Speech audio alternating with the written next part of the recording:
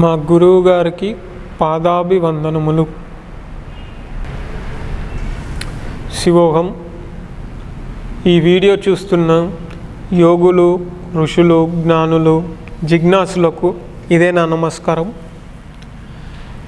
ఇప్పటివరకు మనము ధ్యానము సమాధి గురించి తెలుసుకున్నాము.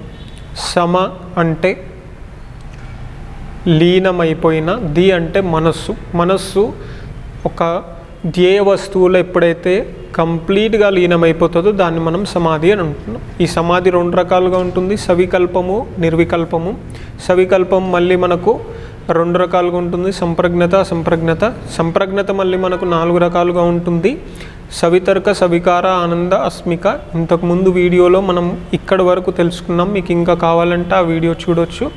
నెక్స్ట్ ఇప్పుడు అసంప్రజ్ఞత సమాధులు నిర్వి నిర్వికల్ప సమాధి గురించి తెలుసుకుందాం. అసంప్రజ్ఞత సమాధులు అంటే ఒక సంప్రజ్ఞత సమాధి నుంచి ఇంకొక సమ సంప్రజ్ఞత సమాధిలో మధ్యలో ఉండే దాన్ని మనం అసంప్రజ్ఞత అని అంటాం. అంటే ఒక నదికి రెండు ఒడ్డులు ఉంటాయి. ఓకేనా? ఈ రెండు ఒడ్డులను ఒకటి కలిపే ఒక బ్రిడ్జ్ ఉంది అని అనుకుందాం. సో ఈ బ్రిడ్జ్ని మనం అసంప్రజ్ఞత సమాధి అని అనొచ్చు. అంటే ఇప్పుడు సవి తర్క సమాధి నుంచి సవికార సమాధిలోకి మనం డైరెక్ట్గా వెళ్ళలేము సో ఫస్ట్ ఏముంటుంది? సవితర్క సమాధి తర్వాత మనకు నిర్వితర్క సమాధి అనేది ఉంటుంది. అది దాటిన తర్వాత అప్పుడు మనము సవికార సమాధిలోకి వెళ్తాం. అంటే ఒక సంప్రజ్ఞత నుంచి ఇంకొక సంప్రజ్ఞతలోకి మధ్యలో ఉండే దాన్ని మనం అసంప్రజ్ఞత అంటాం. సవితర్క నుంచి సవికార మధ్యలో ఉండేదాన్ని నిర్విత్ నిర్వితర్క. సో సవికార నుంచి ఆనంద మధ్యలో ఉండేదాన్ని నిర్వికార.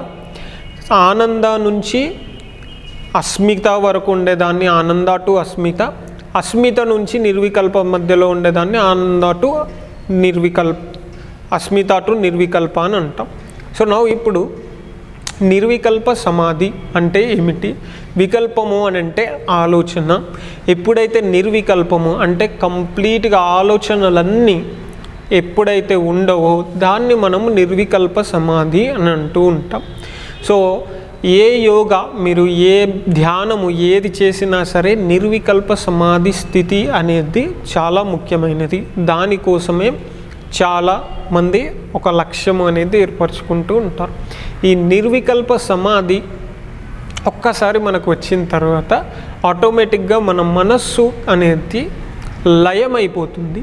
అప్పుడు మనకు ఆత్మానుభవం అనేది జరుగుతూ ఉంటుంది.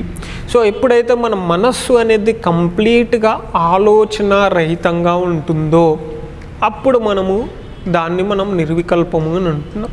అయితే ఇది రెండు రకాలుగా ఉండవచ్చు. అంటే ఒక రెండు పద్ధతులుగా ఈ నిర్వికల్ప సమాధిని పొందవచ్చు. ఒకటి మనిషి శ్వాసకి ఆలోచనకి చాలా దగ్గరి సంబంధం ఉంది.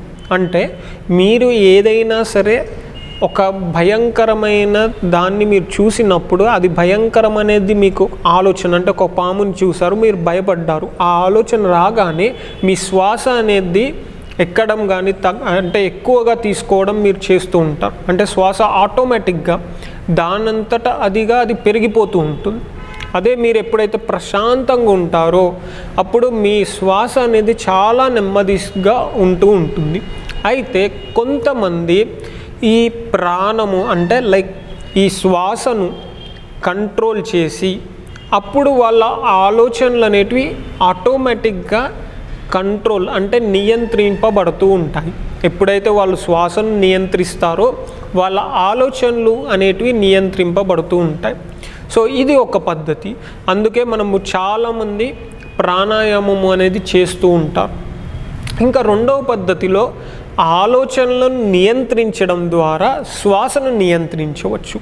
సో కొంతమంది కొన్ని యోగాల్లో ఆలోచన రహిత స్థితి అంటే ఆలోచనలను నియంత్రి నియంత్రించడానికి ప్రయత్నిస్తారు. అప్పుడు ఆటోమేటిక్గా వాళ్ళ శ్వాస అనేది ఆగిపోతుంది. ఈ రెండు రకాల పద్ధతులు చేస్తూ ఉంటారు అయితే ఇక్కడ మనం ఎప్పుడైతే ఆ నిర్వికల్ప సమాధి స్థితిలోకి వెళ్తామో ఎప్పుడైతే కంప్లీట్ అబ్జార్ప్షన్లో వెళ్తామో మనది మనము అంటే యాక్చువల్గా మనము ఎవరు అనే సత్యాన్ని మనం తెలుసుకుంటాం. మనం కంప్లీట్గా మనం ఆత్మలో లీనమైపోతూ ఉంటాం.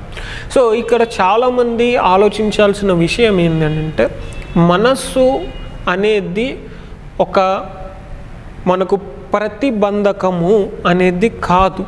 మనస్సు అనేది చాలామంది ఒక మెడిటేషన్లో మనస్సుని చంపేయడానికి అంటే దాన్ని కంప్లీట్గా లేకుండా ఉండడానికి ట్రై చేస్తూ ఉంటాము. ఎస్ బట్ అది ఇంపార్టెంట్ అది అవసరం. కానీ ఫస్ట్ మనకు సంప్రజ్ఞత సమాధిలోంచి మెల్లిగా మనం అసంప్రజ్ఞతలోంచి తర్వాత మెల్లిగా మనం నిర్వికల్పలోకి వెళ్ళాలి.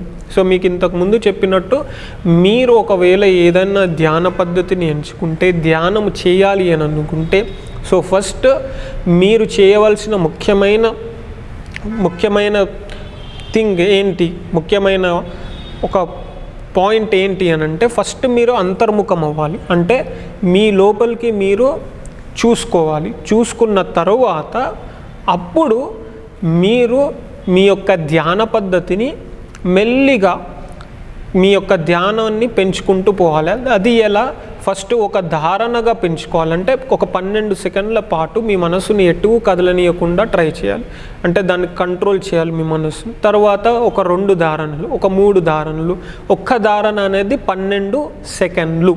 సో అలా మీరు ధారణలు పెంచుకుంటూ పన్నెండు ధారణలు అయితే మనం ఒక ధ్యాన స్థితి అని అంటున్నాం. ఆ ధ్యాన స్థితిలోకి వెళ్ళాలి. అలా మీరు ఒక ధ్యాన స్థితి అంటే రెండు నిమిషాల ఇరవై నాలుగు సెకండ్ల పాటు మీ మనస్సు ఒకటే దగ్గర ఉంటుంది కాబట్టి అలా రెండు ధ్యాన స్థితులు మూడు నాలుగు అలా పెంచుకుంటూ పెంచుకుంటూ ఒక సవికల్ప సమాధి స్థితిలోకి రావాలి. అంటే ఒక అరగంట సేపు. అలా మీరు సవికల్పలోకి వచ్చిన తర్వాత సం సవితర్కము అలా మెల్లిగా ప్రాక్టీస్ చేస్తూ ఉంటే సవికారము ఇంకా ప్రాక్టీస్ చేస్తూ ఉంటే ఆనందము అలా ఇంకా ప్రాక్టీస్ చేస్తూ ఉంటే సాధన చేస్తూ ఉంటే అస్మిత. దాని తర్వాత మీరు నిర్వికల్పలోకి వెళ్తూ ఉంటారు. సో ఈ విధంగా మీరు ధ్యానాన్ని మీరు ఎంచుకున్న పద్ధతిని చేయవచ్చు. ఇది కాకుండా మీకు ఎన్నో రకములైన పద్ధతులు ధ్యాన పద్ధతులు చాలా ఉంటాయి. సో ఇప్పటి వరకు మనము ధ్యానం గురించి సమాధి గురించి సం తెలుసుకున్నాము. సో ఈ ఎపిసోడ్కి ఇంతే శివోహం